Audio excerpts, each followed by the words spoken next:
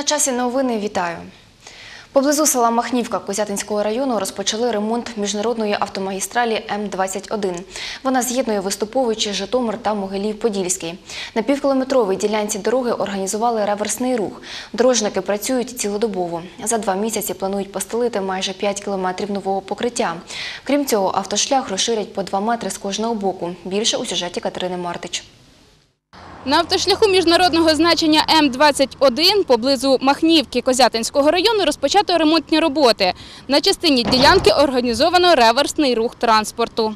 Спільно з ремонтниками на місці працюють працівники патрульної служби. Автомобілі пропускають по черзі. Олександр Вервега займається регулюванням руху. Один звідти, другий звідти. Зв'язок говорити з напарниками. Пускай я держу. Ночі працює друга зміна. Хлопці, одні віддихають, другі працюють. Держи своїх, держи, поняв, в мене їдуть машини. Поняв, Женя, поняв, держу. Дорожники працюють цілодобово у дві зміни. За два місяці планують відремонтувати майже 5 кілометрів шляху. Наразі роботи проводять на півкілометровій зоні. задіяно 10 вантажних автомобілів, 3 екскаватора потужних, 2 грейдери і погрузчики. Гарантія даємо 10 років на обслуговування, якщо то за свій кошти ремонти. Крім того, ділянку траси міжнародного значення розширять на 2 метри з кожного боку.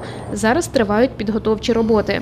Виконали е, фрезерування верхнього шару асфальтобетону і робимо ровик уширення. І засипаємо щебеночною смісю.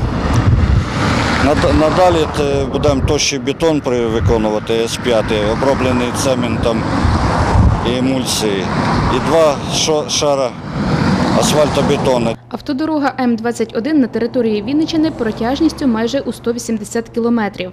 Майже 38 з них відремонтували торік. Цьогоріч запланували 20 кілометрів нового покриття. Його вартість – 400 мільйонів гривень. Катерина Мартич, Олександр Базюк. Новини. Кількість охочих працювати на робітничих професіях в Україні значно менша від попиту роботодавців. Сьогодні на ринку праці між собою конкурують роботодавці, зазначають у правобережному центрі зайнятості міста Вінниці. Серед переліку затребуваних професій 70% кваліфіковані робітники.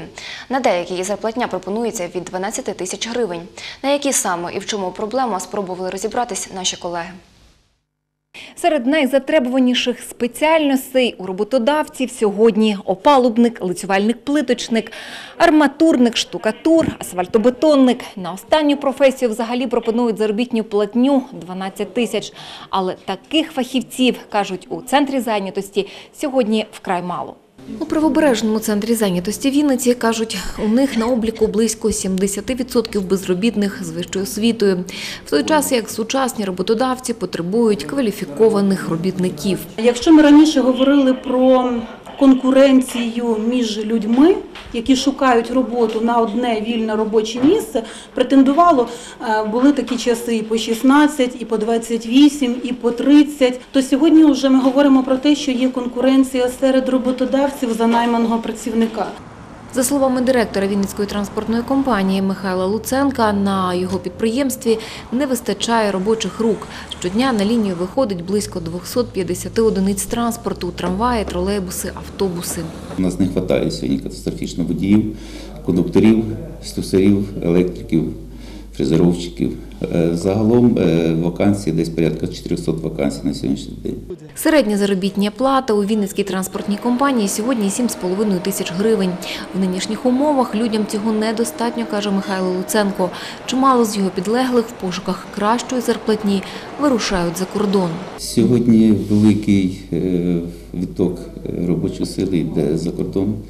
Люди їдуть заробляти кошти, тому що зрозуміло, потрібно будувати е, собі житло, потрібно вирішувати інші проблеми. Проблему з нестачою робочої сили в центрах зайнятості вирішують перенавчанням людей з вищою освітою, економістів, юристів, вчать професіям газозварювальників, манікюрниць, слюсарів, асфальтобетонників. Пропонуємо, звичайно, і е, навчання за направленням центру зайнятості за кошти фонду страхування на випадок безробіття на е, різноманітні робітничі професії, які сьогодні користуються попитом на ринку праці. Це і токар, це і фрезерувальник, а, це кухар, кондитер, продавець, манікюрник. Ольга Орел, Юрія Кобенчук. Новини. І до інших новин. У Вінниці полюють на паліїв листя. З минулого тижня у місті працює шість мобільних груп, які стежать за тим, аби на території міста вінничани не спалювали відходи, листя та суху траву та проводять роз'яснювальну роботу. Поки складено шість протоколів. Порушникам загрожує адміністративне покарання у вигляді штрафу від 340 до 1360 гривень.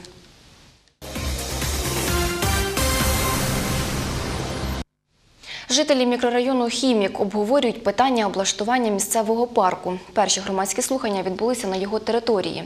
У них взяли участь близько ста осіб. Учасники зібрання висловили своє заперечення щодо будівництва церкви на цьому місці та свої пропозиції щодо майбутнього вигляду парку. Подробиці події у сюжеті наших кореспондентів. Нині парк Хімік – територія площею в 3 гектари. Як він виглядатиме у майбутньому, вирішують місцеві жителі. Серед них 70-річна Тамара Емінова. Пам'ятає, яким був мікрорайон за радянських часів. Раніше був здесь. Раніше тут був кінний двір, був також яблуневий сад, який належав хімкомбінату. Це єдиний парк на усе замостя. Парк. Жителька мікрорайону Олена Мельник схвально ставиться до облаштування паркової зони. Жінка проти будівництва церкви на цій території. Тут займаються діти. Тут 32 школа. Всі спортивні секції, всі мероприятия спортивні проводять тут. Стадіон, приємно, коли діти тут гол кричать, радуються. Все. Ну як це буде церква і стадіон? Тут будуть колокола бити, а там будуть ура кричати.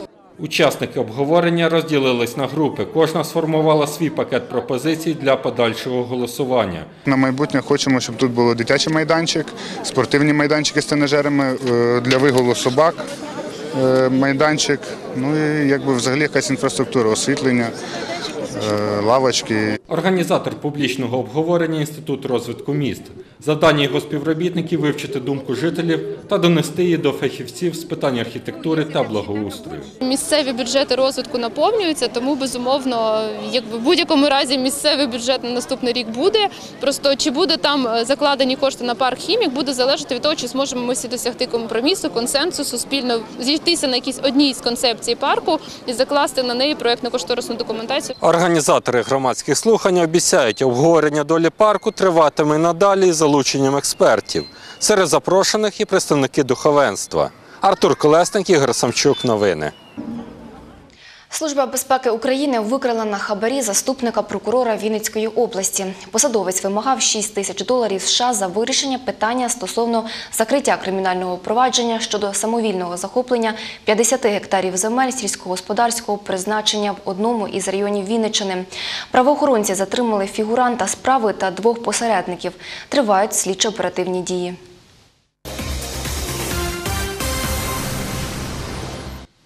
В Україну зі Сполучених Штатів Америки повернулась Олена Вотякова, лейтенант патрульної поліції Вінниччини.